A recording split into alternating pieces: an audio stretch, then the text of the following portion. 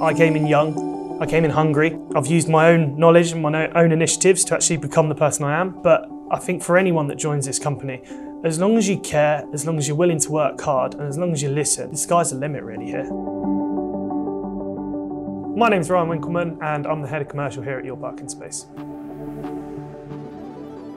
My main focuses are to work with the existing client base, giving them a full knowledge of our product suite, innovations, any ancillary revenue streams we can bring to the table, and focus on growing that revenue stream across their estate via the car parks. That could also mean working with new initiatives, which could be EV, international expansion, or specific projects across the board. If I had to describe YourParkingSpace in three words, it would be opportunity, innovation, and disruptive. We've got over 2 million users on the app, over 75,000 landlords, which could be private and commercial. Our year on year growth is over 100%.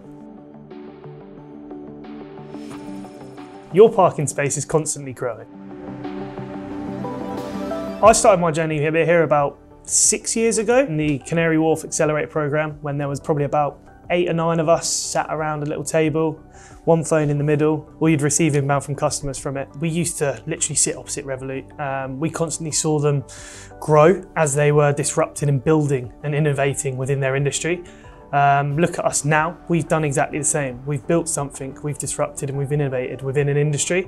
Um, and I think I can take quite some solace in that. Um, and I was a part of that. Now it's on to chapter two, where we have to grow even further and continue to not rest on our laurels and keep pushing forward.